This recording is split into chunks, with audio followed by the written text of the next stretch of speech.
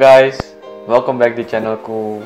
Akhirnya guys, kali ini setelah sekitar dua bulan kita kembali ke segmen Obri, obrolan ringan dengan Yusa Nugraha.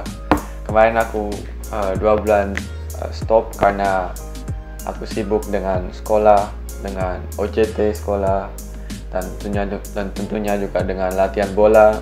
Makanya kemarin aku udah sekitar dua bulan gak bikin konten Obri. Tapi sekarang kita akan kembali ke segmen Obri dan kali ini aku akan ajak Obri dengan pemain Utrecht guys dan tentunya dia juga keturunan Indonesia. Siapa dia? Namanya adalah Ivar Jenner. Jadi ikutilah Obri kita kali ini. Tapi sebelum kita mulai jangan lupa untuk subscribe, dukung channelku ini agar biar bisa berkembang di seputar olahraga guys. Dan tentunya jangan lupa untuk like, comment, share tapi sebelum kita mulai interviewnya, tentunya kita akan lihat uh, foto-foto uh, dan juga video highlightnya. Jadi, roll the clip.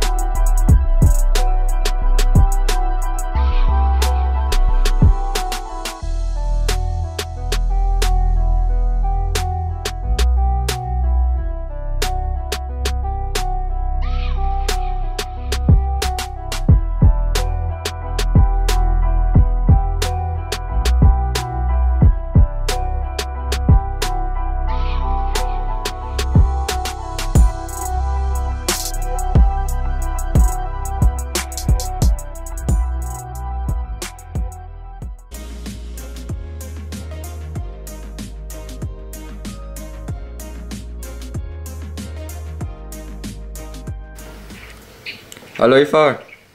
Yo. Yo man, hoe gaat het? Lekker man, met jou? Met mij ook goed man, leuk je te zien. Ja, zeker. Mooi, mooi. En uh, heb je nog een wedstrijd gespeeld dit weekend? Ja, met de onder 18 gewoon onderling. Met een paar oh, boys van Jong nog. Dus ja, dat meestal gewoon op zaterdag gewoon geen competitie en zo. Dat is wel jammer. Mm, ja, maar gewoon nog Maar ja. eh, onderling gewoon wedstrijden. Sorry, ik versta je ook niet goed. Gewoon eh, onderling wedstrijden met elkaar gewoon. Ja, precies, gewoon onderling. Oké, mooi mooi. Nou, als eerste, ik wil je natuurlijk eh, bedanken dat je tijd hebt gemaakt en dat je de interview wil doen met mij. Dus eh Ja, tuurlijk, geen probleem. Ik vind het leuk. Dus Dankjewel. En ja, ik, de reden dat ik jou wil interviewen was zodat de Indonesische supporters meer van je gaat leren kennen. Want kreeg vaak een bericht van, eh, van hun van ja, kan je Ivar Jenner interviewen. Dus eh, Ja. daarom had ik je een bericht gestuurd. top. Oké, mooi. Leuk. En eh, oké, dan eh, gaan we beginnen. Wat, is, wat is je geboortedatum als eerst? Geboortedatum 10 januari 2004. Oké, 2004. Zo, dan ben je nu 16 of 17? Ja, 16. 16, zo nog jong man. Oké, en Ja. Eh, je speelt nu bij eh, FC Utrecht onder eh 18 of onder 19? Onder 17. Oh, onder 17, oké. Onder Ja. 17. Oké, en eh, sinds eh, hoe lang speel je voor FC Utrecht? Eh, sinds de onder 13.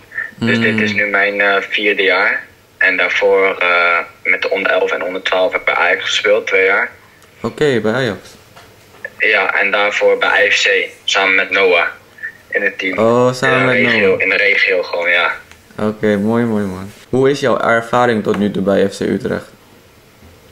Ehm, ja, wel heel fijn eigenlijk. Zeg maar, bij Ajax was het meer van, eh, ja, in Amsterdam, ik woon zelf in Utrecht. Eh, Mm. Dan ben je eh 11, 12 jaar. Dan zit je in groep 7 en 8 en dan moet je naar de middelbare school. En dan moest ik zeg maar ja, daar naar de middelbare school gaan. Dat is nu natuurlijk allemaal nieuw voor mij. En dan moest ik waarschijnlijk, waarschijnlijk in een gastgezin en zo. Dus toen heb ik zelf besloten om gewoon weg te gaan. En eh, ja, toen kwam. Ajax, eh, kwam eh, Utrecht en PSV. En nog wat andere clubs. En toen heb ik uiteindelijk voor Utrecht gekozen. Mm, Omdat dat, ja, het is gewoon in mijn, zeg maar, dichtstbij voor mij. Het Dichtbij, is gewoon fijn. ja, ja. Dus ja, nu nog steeds gewoon veel vertrouwen in de club en hun ook in mij. Dus het gaat allemaal goed. mooi, mooi. En je woont eh, dicht bij FC Utrecht, de club? Of iets, iets een beetje ver? Ja, ik woon in IJsselstein, dat is 20 minuutjes. Met scooter ga ik. Oh, oké, 20 minuutjes met scooter. Oké, oké. Oké, en eh, in welke positie speel je? eh rechtshalf of op 10. Oké, Nu wat meer op 10, Mhm. maar eh, in het verleden meestal wat meer controlerend, zeg maar rechts. Op Oké. het middenveld. En waarom heb je gekozen voor om die positie te spelen? Eh, ehm, ja, ik denk dat ik vroeger was ik meer de opbouwer bij Ajax, zeg maar de rechter centrale verdediger. Mhm. En dat ik een, eh, ja, een snelle, meestal snelle jongen gewoon naast me staan. Dus Ja. dat was vroeger. En toen ik bij Utrecht kwam, ja, ik ben zeg maar een speler die goed kan lopen. Dus zeg maar Oké. box to box. Dus daar Ja. ben ik zeg maar naartoe gegroeid. En nu ben ik gewoon een nummer 10, zeg maar, geworden. Oké man, mooi mooi. Eh, heb je ook op, eh, in je voetbal- voetbalcarrière heb je ook op andere posities gespeeld, zoals misschien de aanval of de verdediger? Eh, ja, ik heb vroeger bij Ajax meestal in de verdediging gespeeld. Gewoon centraal. Mhm. Rechts centraal, ik ben ook rechtsbenig. En nu bij Utrecht heb ik eh, ja, controlerend gespeeld. Dus op het middenveld. Op de, aan, meestal gewoon ja, altijd aan de rechterkant. Ehm, en ja, dit seizoen echt meer op 10, dus echt achter de spits. Ja, ja. Oké. En hoeveel, hoeveel assists of eh, goals heb je tot nu toe gemaakt? Dit seizoen? Eh, dit seizoen heb ik drie goals en volgens mij vijf of zes assists. Zo. Maar ja, we hebben heel weinig wedstrijden gespeeld. Echt Ja. twee of drie competitiewedstrijden. En nog wat man. oefenwedstrijdjes. Ja, dat is wel, wel netjes toch? Net, wel eh, redelijk veel. Ja, ja, ja, dat is wel netjes. Maar ja, ik heb ook wel een aanvallendere positie, denk ik, ten opzichte van de vorige seizoenen. Ja, ja. Dus dat, dat, daar voel ik me ook wel ja, beter bij, denk ik. Oké, mooi mooi. Kan je misschien eh, de kijkers vertellen hoe jouw eh, eh, voetbalcarrière? Of jouw voetbalcarrière. Dus sinds hoe oud was je begonnen met voetballen? En voor welke clubs heb je allemaal voor gespeeld? En hoe kon je naar FC Utrecht gaan? Ehm, ik ben op mijn vierde, toen ik vier jaar was, ben ik bij IFC begonnen. Mhm. In IJsselstein, een club. Ja, heel dichtbij, twee minuten met de fiets. Daar heb ik toen tot mijn tiende ge- gespeeld. Toen heeft mijn vader heeft me opgegeven voor een talentendag Mhm. bij eh, Ajax. Eh, toen ben ik opgevallen. Toen kreeg ik een brief thuis van... eh, ja, je mag een stage lopen van zes weken. van zes weken. Zo. Het ATP heet het Ajax Talentenprogramma. Eh, en toen ben ik daar ben ik ook aangenomen. En toen was ik tien jaar. En toen heb ik in de onder 11 en in de onder 12 twee hebben Ajax gespeeld. Heel veel toernooien gehad in het buitenland. Mhm. Eh, Italië, eh, Polen, België, Tsjechië, echt heel veel. En na die twee jaar toen ben ik weggegaan. En toen heb ik eh, vier jaar bij Utrecht gespeeld. En dan speel ik nu nog steeds. Oké, mooi, mooi, mooi verhaal, mooi verhaal. Van wie heb je geleerd om voor het eerst voetbal te spelen? Van, wie heb het, van wie heb ik het geleerd? Ja, sowieso vroeger. Ik denk toen ik een beetje gewoon loopte, vond ik het wel leuk met een bal gewoon al. En eh, ja, uiteindelijk toen, ja, toen ik vier was, heeft mijn vader me gewoon op voetbal gezet. En dat vond ik gewoon leuk. En uiteindelijk ja, ben ik er gewoon van gaan houden. En zo is dat zeg maar gegaan. oké. Gewoon mijn passie. Gewoon passie, ja, ja, passie, mooi. En tot nu toe, eh, wat is je mooiste moment in je voetbalcarrière?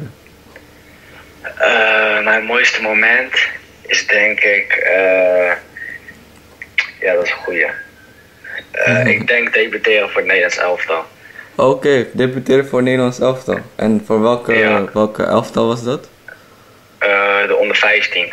Oh, Oké, onder 15. Oké, onder 15. Tegen België en Interland. Dat is denk ik wel ja, het mooiste moment. En eh, speel je daar nog steeds nu voor, voor het Nederlands elftal? Ehm, ja, ik heb in de onder 15 heb ik in Interland gespeeld voor België. En toen zat ik er wel echt goed in. Zeg maar. Toen heeft die coach ook tegen mij gezegd van ja, waarschijnlijk, je, je staat er gewoon goed op nu. En toen, eh, ik denk een maandje daarna, toen had ik mijn been, been gebroken. Oh. Tegen Ajax, mijn scheenbeen. Dat heeft toen, eh, ja, ik denk echt een jaar of zo, negen maanden. Was echt gewoon goed gebroken. Dus dat is, heb ik echt een jaar uitgelegen of zo. Toen ben ik teruggekomen, weer wennen en zo. Heel seizoen eigenlijk gemist. ja. En toen eh, ging het weer goed, ja, zeg maar, dit seizoen. En nu ben Hallo? Yo. Yo, hoor je mij weer? Ja, ja, ik hoor je nu. eh. Ik denk dat een beetje Oké, de wifi... top. eh. Oké. Zal ik het nog een keer herhalen? Ja, graag, graag. Ehm, en na dat jaar toen, ja, dat zeg maar nu in de onder 17 ben ik dan weer echt fit in het begin. Eh, en toen ben ik weer opgeroepen voor Duitsland. Voor tegen Duitsland. Alleen toen is dat niet doorgegaan door corona. Dus ja, zo zeg maar. Mm, Oké, dus eh, nog, eh, nog steeds eh, dit jaar en door corona is het een beetje afgelast of stopgezet. Ja, precies. Ik stond zeg maar wel op die lijst, maar is niet doorgegaan. Oh, Oké, jammer man. Jammer, jammer. Oké, dus ik kreeg ook veel eh bericht van de supporters van Indonesië. En ze vroegen van, van mij van, kan je hem vragen of, of hij voor het nationaal elftal van Indonesië wilt spelen? Alleen omdat je nu al hebt gezegd voor het Nederlands elftal, dus dan kan je niet meer voor, eh, voor Indonesië spelen dan. Ik zou het sowieso, ik denk dat ik, eh, ja, ik denk dat ik nu nog sowieso geen keuze kan maken tussen die Hmm, twee. hmm. Maar het lijkt me natuurlijk wel gewoon vet om een keer voor Indonesië te spelen. Maar ik denk nu dat ik, ja, nu kan ik geen keuze maken van, ja, of ik ga voor Indonesië of voor Nederland. Dat is nog lastig, zeg maar nu. Nog lastig, oké, oké, nog lastig. Wat is eh, tot nu toe in je voetbalcarrière de lastigste tegenstander waarmee je ooit tegen gespeeld hebt? De lastigste tegenstander. Yes. Ehm, ik denk dat sowieso Ajax heeft wel echt elk jaar wel een goed team. Mhm. Dat denk ik. En eh, op het toernooi hebben we een keer tegen Celtic gespeeld met Utrecht. Mhm. En die waren ook echt niet normaal. Oké. Dat had ik niet verwacht echt van Celtic. Maar die waren echt, die wonnen dat toernooi ook dik. Die hadden volgens mij nul tegendoelpunten ook. Zo. Dus dat was echt niet normaal. Ehm, een keer bij eh, een toernooi, ook in Duitsland, met, eh, met ook grote clubs. Toen eh, Augsburg uit Duitsland. Oh, ja. Die waren ook echt, die waren echt, dat had je niet verwacht, maar die waren echt goed. Die speelden een formatie 5-3-2 met, met iedereen inzakken. En die hadden ook volgens mij geloof ik nul tegendoelpunt of zo. En dus dat was echt, eh, ja, echt niet normaal. Die waren echt heel goed. En een keer met Ajax hebben we tegen AC Milan gespeeld. Mm. En die hadden allemaal ja, jongens denk ik van 2 meter zoiets. Dus Zo. dat was, dat was ook niet te doen. Die leken wel allemaal 18 al. Toen in 112. Dus die wonnen ook alles. Ja. Oké, dus... eh, Dus ja, dat waren wel denk ik echt de beste tegenstanders. eh, ja, meestal echt de, de grote clubs, zeg maar. Die zijn wel echt meestal ook gewoon goed. En misschien als speler, een lastige speler waarmee je ooit tegen gespeeld hebt? De lastigste? Ehm, lastigste speler. Dat is een hele goeie. Eh, ik denk dan toch van Celtic, nummer 10. Nummer 10 van zelf. Toen stonden punten achter en hij stond op 10. Ja, dat was wel echt niet normaal. Oké, oké. Dat was wel echt, eh, ja. Oké, en eh, als je jezelf mag bes- beschrijven, eh, wat, zijn jou, wat zijn jou dan jouw sterke punten? Ik denk mijn sterke punten zijn dat ik goed kan lopen. Dus zeg maar goed loopvermogen, goede conditie. Oké, Ehm, dat ik wel gewoon het spel goed kan lezen. Dus dat ik zeg maar gewoon eh, eh, inzicht heb. En ja, dat ik een goede trap heb en goede, ja, een goede paas. en eh, waar, zou jou, waar zou jij jou nog in willen verbeteren? Waar kan, welke verbeterpunten? Ja, wat, wat, ja, mijn verbeterpunten zijn denk ik wel koppen, dat sowieso. koppen, oké, koppen. Ja, met teleurstellingen omgaan. Denk met blessures, zulke dingen, verlies of ja, meestal verlies, daar, daar moet ik mee leren omgaan. En ja, verdedigen kan er sowieso nog een tandje bij. En ik denk, eh, ja, ik sta nu meestal tien, dus samenwerking met de spits, dat kan ook wel beter. oké, samenwerking. Oké. Ik heb ook een, eh, een vraag. Ehm, meestal hebben voetbalspelers, vooral in de eh, BVO-niveau, een, een, misschien een eetpatroon of ja, zeg maar dat de club zegt van hoe je moet eten, gezond eten en zo. Heb, is dat ook bij jouw club? Krijg je ook een, eh, een schema ja. of iets? Zeker, we hebben een eh, voedingsdeskundige hebben we bij Utrecht lopen. Mhm. En die geeft ons, ik denk om de twee maanden of om de maand, hebben we een gesprek met hem of haar. En dan, ja, dan gaan we zeg maar, doornemen wat je eet. Dat moet je dan zeg maar in een schema zetten. En dan eh, halen we eruit van ja, dit is niet goed en dit moet je wel blijven doen. Ehm, en dat wordt dan zeg maar, dat schema wordt aangepast aan jouw gewicht en aan jouw lengte. Dus eh, bijvoorbeeld, ik ben eh, ja, niet de zwaarste, dat sowieso niet. Dus ik mag zeg maar wat extra gaan eten. Dus dat geven we dan aan. En dan precies dan zeggen we hun zeg maar de details van ja, wat kan ik eten, wanneer moet ik dat eten, hoeveel moet ik daarvan eten. Dus dat is allemaal wel heel goed geregeld. En eh, er wordt ook vet gemeten bij Utrecht. Dus dan wordt je huidplooi zeg maar gepakt. En eh, als dat te hoog is, dan moet je zeg maar een extra programmaatje doen na de training. Omdat je dan zeg maar te zwaar bent. Ja, ja, ja. Ehm, ja, en als dat niet het geval is, dan, dan kan je gewoon lekker blijven trainen. En dan zit het gewoon goed. Mm, ja, ja. En eh, hoe is meestal jouw eetpatroon per, per dag? Wat eh, eet je allemaal? Ehm, nou, dat, dat verschilt nog wel eens. Maar het belangrijkste is denk ik, ook wat met mijn eh voedingsdeskundige heb besproken, dat ik eh, sowieso volkoren moet eten. Oké. Dus zeg maar boterhammen, dat ik dat niet wit eet, maar gewoon volkoren. Hmm. En eh, met rijst bijvoorbeeld zilvervliesrijst en volkoren pasta, zulke dingen. Dat staat Ja. sowieso op nummer 1, dat is echt belangrijk. En dat ik goed tijdens de training water drink. Mhm. Dat is ook een belangrijke. En vooral dat ik na mijn training mijn eiwit eet. En dat ik gewoon goed herstel. En dat ik goed slaap. Dat zijn zeg maar de vier, vijf dingen die echt voorop staan. En voor de rest dan kan je echt wel een keer, weet ik veel, chocola of wat anders pakken. Dat is geen probleem. Ja. Maar als je maar gewoon, zeg maar, aan die, aan die, aan die waarden, als je je daar maar gewoon aan houdt. Oh ja, ja. Eh, en eh, qua fitness, Sorry? Eh, qua fitness misschien, doen jullie daar ook nog misschien oefeningen of zo? Ehm, ja, wij trainen op maandag, dinsdag, donderdag en vrijdag. En dan zaterdag een wedstrijd, dus vijf keer in de week eigenlijk. Ehm, en op dinsdag en donderdag trainen wij twee keer per dag. Dus Mhm. dan moeten we om 12 uur bij de club zijn. En dan pakken we eerst met z'n allen doen we in de gym, zeg maar, we oké, in Utrecht. In de gym. Eh, doen wij fitness, gewoon eh, squat, eh, pull-ups, zulke dingen. Gewoon kracht, zeg maar. Mhm. En stabiliteit, zulke dingen. Dus die doen we dan op dinsdag en donderdag. En dan gaan we daarna, zeg maar, veldtraining. Dus zeg maar twee trainingen. Twee trainingen. En op maandag en vrijdag hebben we gewoon alleen veldtraining. Dus dan geen kracht. En, en eh, ga je ook nog eh, naar school? Ja, ik doe nu HAVO 5. Oké. Dus eh, die wil ik sowieso afmaken. Ik weet niet of dit jaar gaat lukken, maar Mhm. sowieso of dit jaar of volgend jaar. Want ik heb het wel gewoon echt druk met voetbal dit jaar. Ja, snap ik. Ook omdat ik twee keer moet trainen. Ik moet om 12 uur al er zijn. En soms heb ik gewoon les tot 5, dus dan mis ik heel veel. Dan mis ik gewoon de helft. Ja, ja. En dan moet ik allemaal wel zien in te halen, gewoon in mijn vrije tijd. Dus dat is wel eens lastig. Maar ja, sowieso mijn HAVO 5, dat moet wel kunnen lukken, denk ik.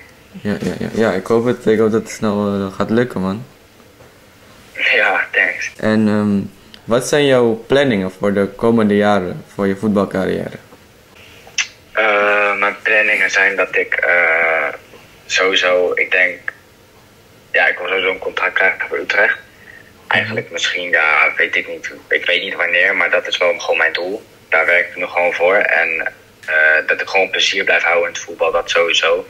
En dat ik uitgroei gewoon tot uh, baasspeler bij Utrecht. Dat is denk ik nu mijn doel, gewoon voor nu. Ja. En als dat gelukt is, dan, ja, dan kijk ik altijd gewoon verder. Oké, oké, mooi, mooi. Ik hoop eh, dat het ook snel gaat lukken voor je. Ja, dankjewel.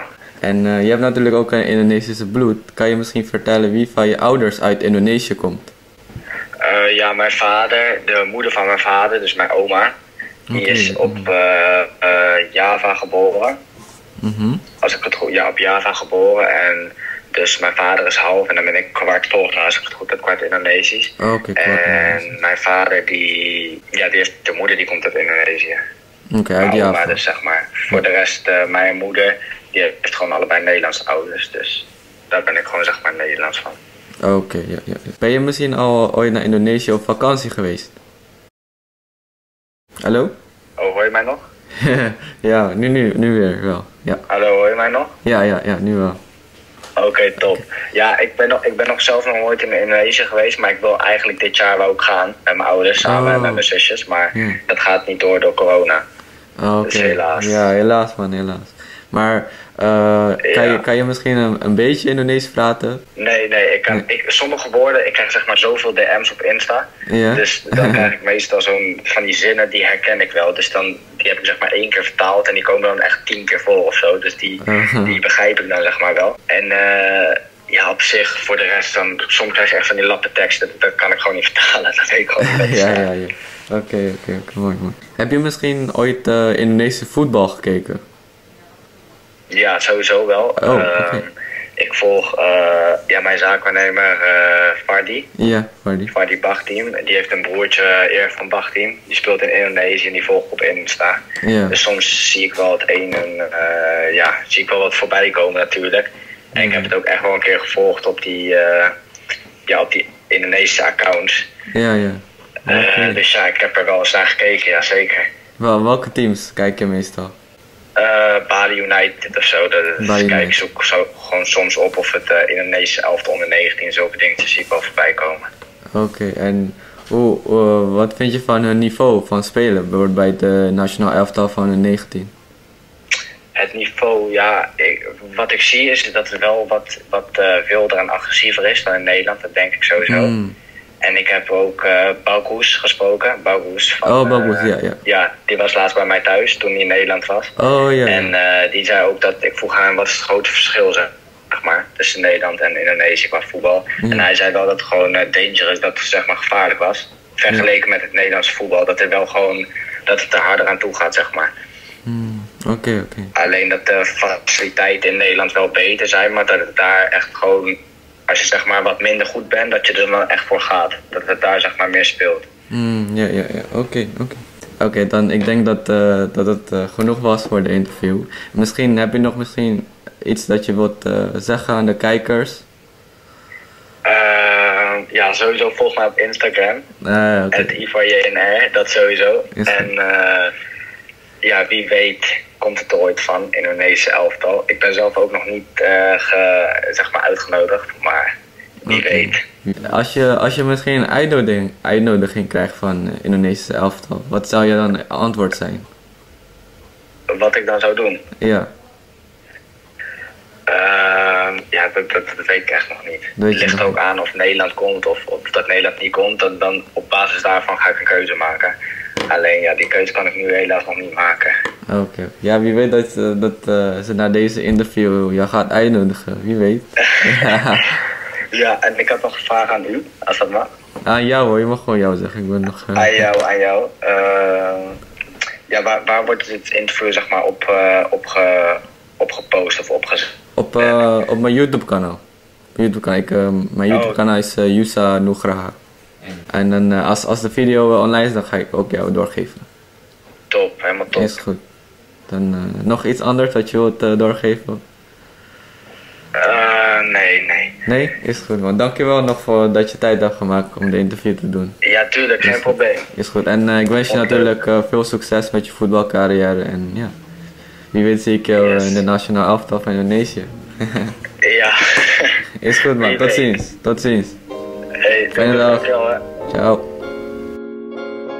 Oke guys, itulah video obriku kali ini bersama Ivar Jenner. Semoga kalian bisa mengenal dia lebih baik dan semoga kalian suka dengan video obriku kali ini. Tentunya jangan lupa untuk like, comment, share, and subscribe. And I see you in the next vlog. Peace.